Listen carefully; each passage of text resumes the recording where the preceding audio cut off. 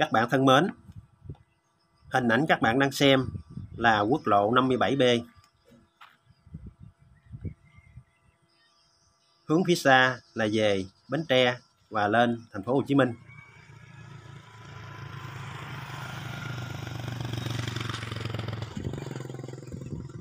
Ngược lại là về Bình Đại. Từ đây xuống chợ Bình Đại khoảng 4 km nữa thôi.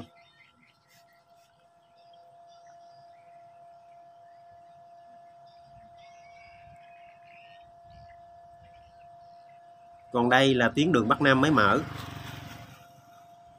Hôm nay, chúng ta đi lên tuyến đường này. Đường mới xây dựng cách nay gần một năm. Được xây hoàn toàn trên đất ruộng. Hiện nay, cũng có một vài doanh nghiệp đến để đầu tư. Đây là những giải kiosk của họ vừa mới xây xong. Các bạn nhìn hai bên đường, thấy chưa có bóng ngôi nhà nào? Vì con đường này được xây mới hoàn toàn trên đất ruộng. Hai bên đường trước đây là những ruộng lúa và ao tôm.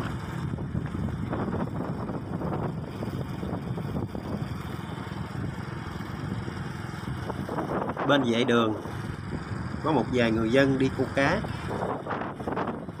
Ở đây cá rô phi rất nhiều các bạn ơi. Ở những ao tôm thì bỏ quang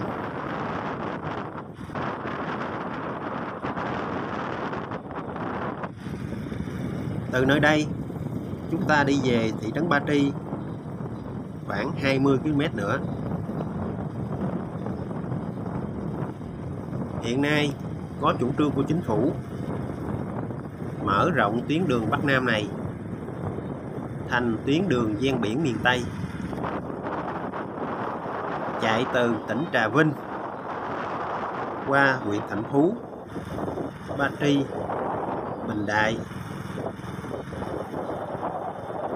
qua con đường Bắc Nam mới mở này thông lên dòng sầm tỉnh Bến Tre.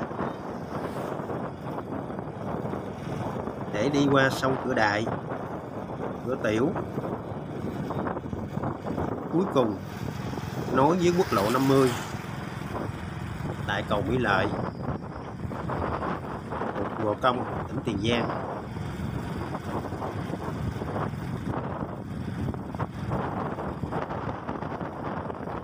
Sau này, tuyến Bắc Nam này lượng xe lưu thông không kém gì quốc lộ 60 đó là niềm vui của dân Bến Tre và các tỉnh ven biển nói chung. Tạo động lực mới để các vùng ven biển có cơ hội phát triển hơn. Trước mặt các bạn là ngã ba Bãi Trình. Nếu đi tiếp, chúng ta sẽ đi về Ba Tri. Còn đây là đường ra Bà Trang thuộc xã Bình Thới.